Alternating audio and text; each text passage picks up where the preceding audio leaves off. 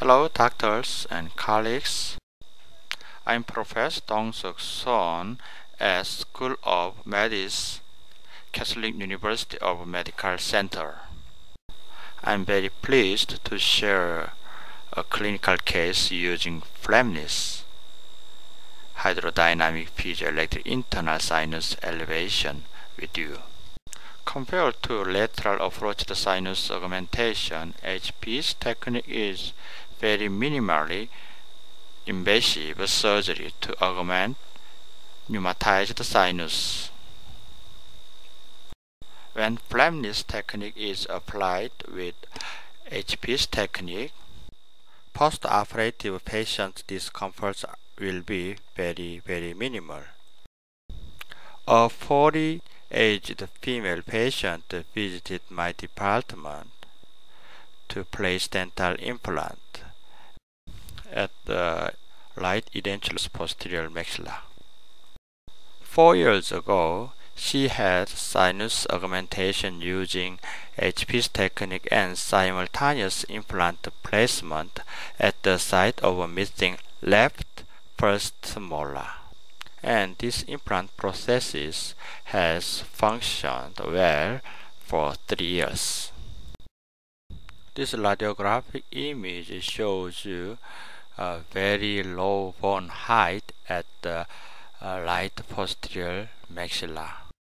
This cross-sectional view of cone beam CT shows you about 3 mm bone height at the side of first molar and about 1 mm bone height at the side of second molar.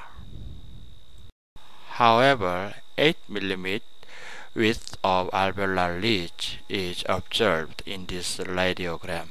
So, Flapless technique was planned for this patient. As shown on this intraoral view, sufficient amount of attached gingiva for Flapless technique is existed. A probe was utilized to verify gingival thickness at the implant site. Approximately 3 mm gingival thickness was verified. Bony undercut at the buccal surface of alveolar ridge was verified too. Even bony morphology was already examined in the beam CT. A 4 mm wide tissue punch was utilized to remove tissue at the implant site. Sharp dissection of soft tissue is required to remove soft tissue completely at the implant site. A small curette was utilized to detach soft tissue core from alveolar bone.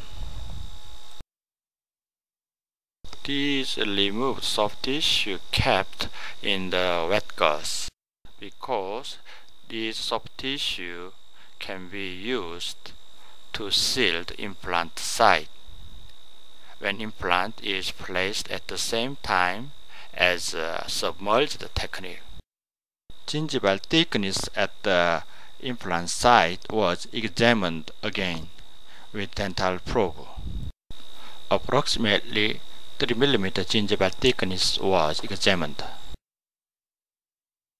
Around the carbide tip attached with the ultrasonic piezoelectric device, Surgybone was utilized to make initial osteotomy from alveolar crest to sinus floor.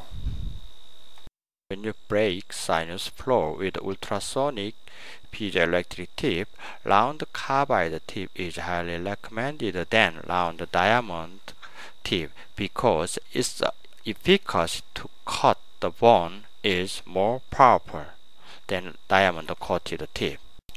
When surgeons use round carbide tip to approach sinus floor, please use circular motion or scraping motion for penetration of sinus floor as shown on this video. Surgeons can feel tactile sense of sinus floor penetration with their fingers easily. Thanks to micrometric cut effect and selective cut effect, membrane perforation is very rare when you break sinus floor with piezoelectric round carbide tip. Surgeons can feel the tactile sensation to sinus membrane easily. A 2.8 mm wide HP tip with internal irrigation was positioned on the osteotomy side to apply water pressure to the sinus mucosa in order to elevate sinus membrane. The HP tip not only expands initial osteotomy but also elevates sinus mucosa by utilization of water pressure. The tip should be approached to the sinus floor slowly. Please take a close look at the water coming out from the side of first molar. This means that sinus membrane is elevated successfully before HP tip is not penetrated sinus floor. At this moment, sinus floor was broken by intrusion of HP tip into the sinus cavity. After membrane elevation at the site of second molar, the same procedure was performed at the site of first molar. The tip was pushed into the sinus floor slowly until sinus floor was broken. At this stage, 5 to 50 mm membrane elevation is usually achieved thanks to water pressure. So HPIS technique usually does not rely on bone compaction to elevate sinus mucosa, unlike other crestal approach technique. Up and down movement of sinus mucosa is usually thin when patient takes a breath. Autologous concentrated growth factors was prepared by utilization of special centrifuge, medifuge, at the altered speed from 2400 to 2700 rpm.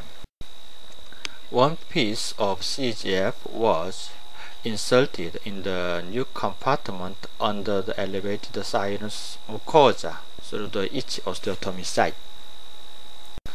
Autologous CGF is known to accelerate new bone formation and soft tissue healing. Compared to PRP or PRGF, autologous CGF is more easier to make.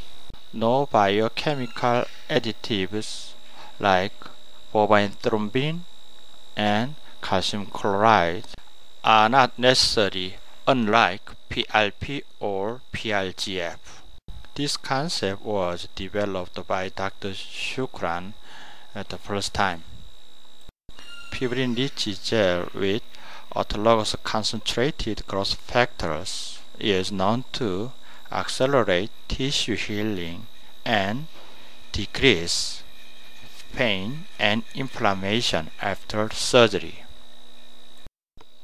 After insertion of two pieces of CGF, final osteotomy was performed by utilization of 3.8 mm wide implant drill.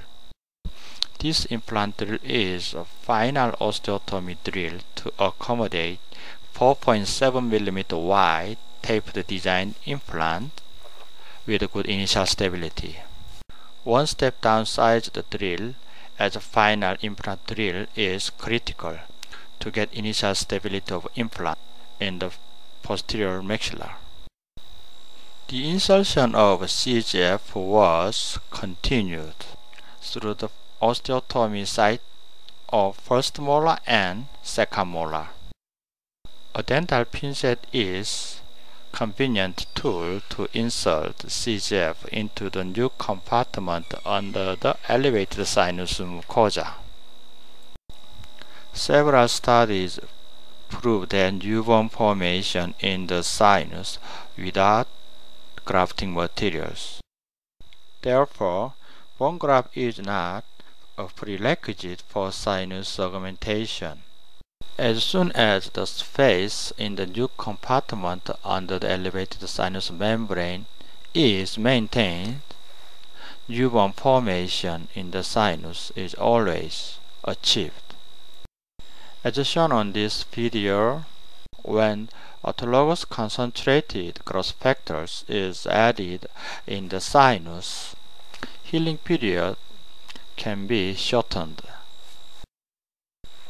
Totally, six pieces of fibrin gel with autologous concentrated factors were placed in the sinus.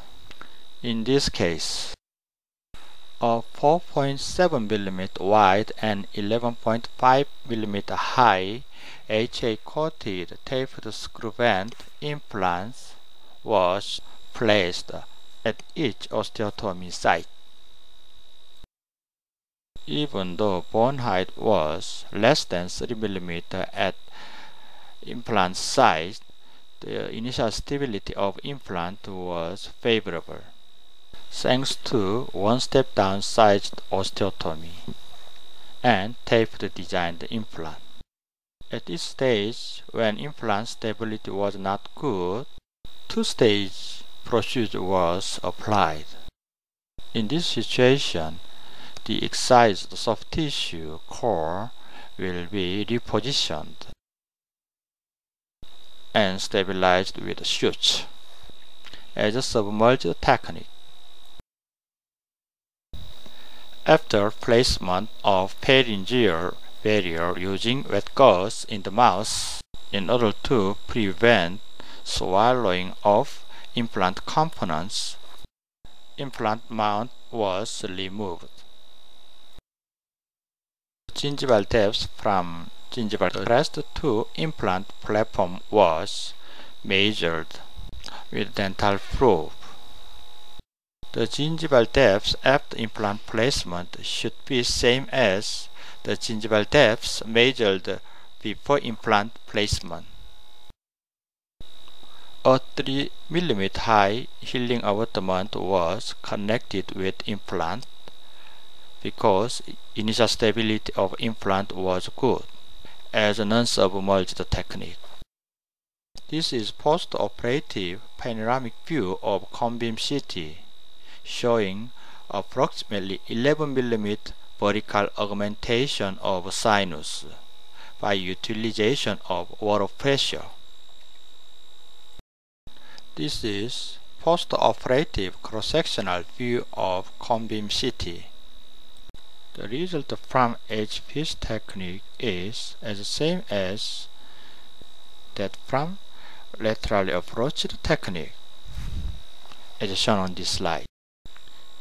This slide shows you comparison of pre-operative and post-operative panoramic view of CT. This slide shows you comparison of preoperative and post-operative cross-sectional view of cone beam CT. As shown on this clinical video, HPIS technique has many advantages. Compared to any other crestal approach technique, HPIS technique requires very minimal instrumentation.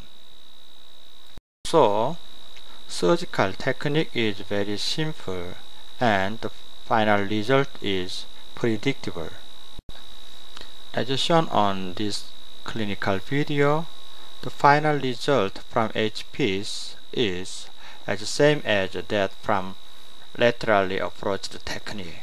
Therefore, HPIS technique could be an alternative method to lateral approach technique. Very minimal flap or Flapless technique is used with HPIS technique, so very minimal patient post-operative discomforts such as swelling and pain is developed. Unlike conventional osteotomy technique, HPIS technique does not rely on malleting to the sinus floor to break sinus floor and bone compaction to elevate sinus mucosa. Therefore, this technique is absolutely free from positional vertigo. As I mentioned before, this technique usually does not rely on bone compaction, so surgical cost can be uh, reduced and patients are free from risk of cross-contamination associated with bovine or human bone. Thank you very much for your kind watching.